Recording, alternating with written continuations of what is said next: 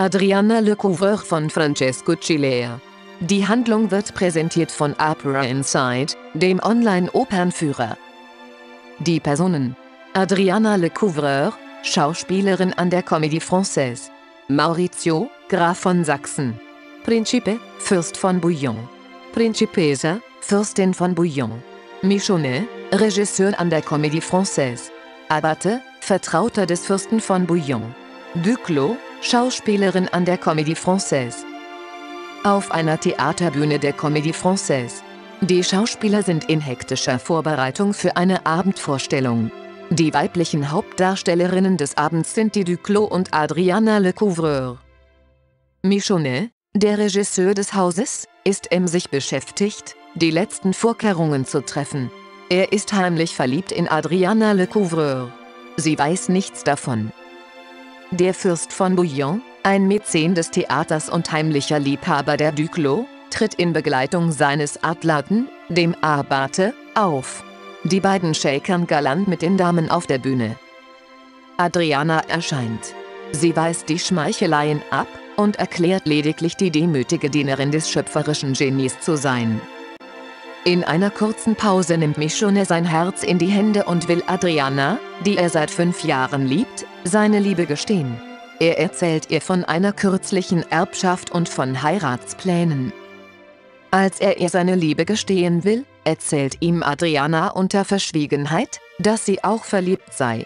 Es ist Maurizio, ein Fähnrich des Grafen von Sachsen. Sie weiß nicht, dass Maurizio in Tat und Wahrheit der Graf von Sachsen ist. Maurizio ist verwundet worden und sie hat gehört, dass er in der Stadt sei. In diesem Moment taucht er auf. Er gesteht ihr seine Liebe. Adriana will für ihn beim Fürsten für seine Beförderung werben. Maurizio will das aber nicht und verspricht ihr, sie nach der Aufführung am Bühnenausgang zu erwarten. Adriana schenkt ihm als Pfand ein Strauß Veilchen. Der Abbate und der Fürst treten auf. Der Abbe hält einen Brief der Duclos in der Hand, den er abgefangen hat. Der Fürst von Bouillon ist eifersüchtig und will wissen, was im Brief steht. Es ist eine Einladung an einen Mann, zu einer Besprechung einer hochpolitischen Angelegenheit bei ihr zu Hause. Was er nicht weiß ist, dass die Duclos den Brief im Auftrag von seiner Frau, der Fürstin von Bouillon geschrieben hat. Der Empfänger ist der Graf von Sachsen, der an diesem Abend in einer Loge weilt. Der Fürst sieht die Politik nur als Vorwand und will das vermeintliche Stelldich einplatzen lassen, indem er an diesem Abend ein Fest für die Schauspieler nach der Aufführung ankündigt. Michonne muss einer Schauspielerin einen Brief als Requisite übergeben. Doch er findet ihn nicht. Da tritt Maurizio mit dem Brief der Duclos in der Hand auf. Er will Adriana mitteilen, dass er das Theater verlassen müsse und heute Abend sie deswegen nicht sehen könne. Mittlerweile hat das Stück schon begonnen und er hat die Idee, den Brief Michonnet als Requisite zu geben, so würde Adriana als Empfängerin die Information auf diesem Wege erhalten. Maurizio verlässt das Theater und erfährt nicht, dass Adriana aufgewühlt ist, als sie den Brief erhält. In der Villa der Duclos. Die Fürstin von Bouillon erwartet aufgewühlt den Grafen von Sachsen.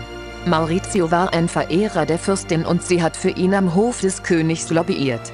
Sie warnt ihn, dass einflussreiche Kreise ihn im Kerker sehen wollen und empfiehlt ihm Paris zu verlassen. Sie sieht die Veilchen an seinem Revers und ist eifersüchtig. Resigniert stellt sie fest, dass Mauritius Herz einer anderen gehört. Sie will ihren Namen wissen. Trotz ihres Drängens will Maurizio ihren Namen nicht nennen. In diesem Moment hören sie eine Kutsche ankommen. Panik erfasst die Fürstin, als sie realisiert, dass ihr Ehemann entsteigt, und sie versteckt sich in einem Seitenzimmer.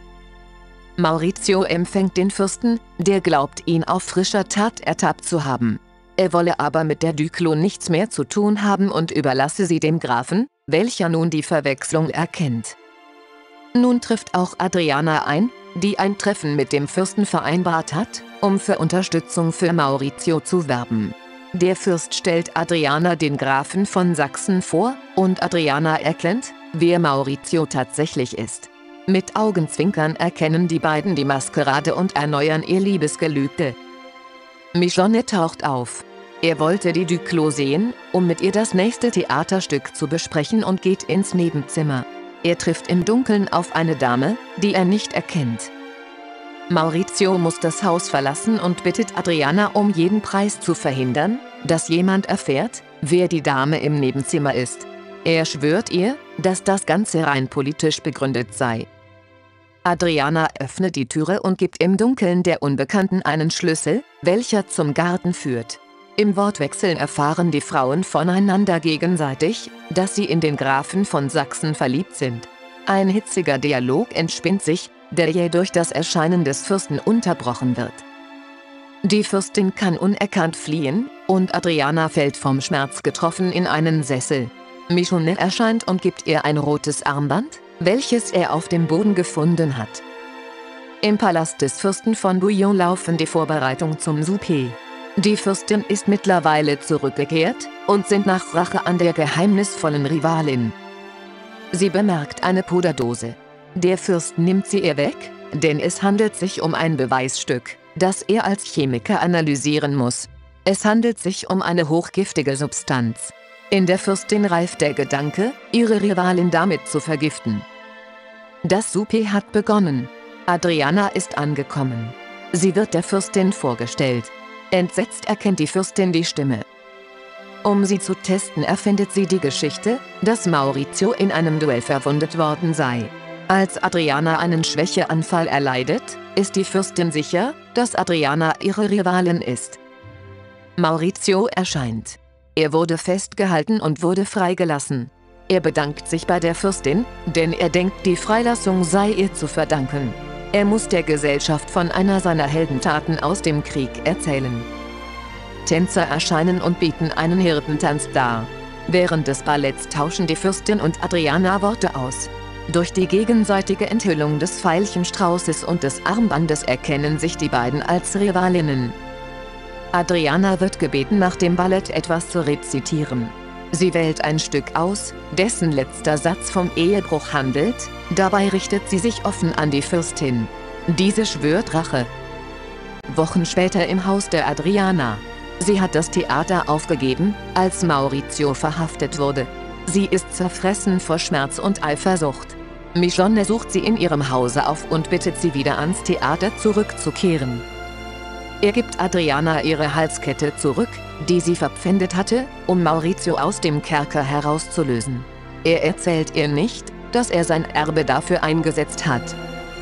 Die Haushälterin überbringt einen Brief von Maurizio.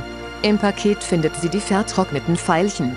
Tief getroffen fühlt sich Adriana verhöhnt und verlassen. In diesem Moment erscheint Maurizio. Michonne hat ihm geschrieben. Er fleht Adriana um Vergebung und ihre Liebe an. Adriana glaubt Maurizio nicht, doch als er um ihre Hand anhält, sind die Dämme gebrochen. Plötzlich erfasst Adriana ein Schütteln und ihr Gesicht erblasst. Sie erzählt von den Veilchen. Michonne erkennt sie und realisiert, dass sie von der Fürstin vergiftet und geschickt wurden. Das Gift wirkt schnell und Adriana beginnt zu fantasieren. Schließlich stürzt sie in den Armen von Maurizio. www.opera Insight. Alles über Oper. Erfahren Sie mehr über diese wunderbare Oper. Mit interessanten Fakten und großartigen YouTube-Videos. Besuchen Sie uns.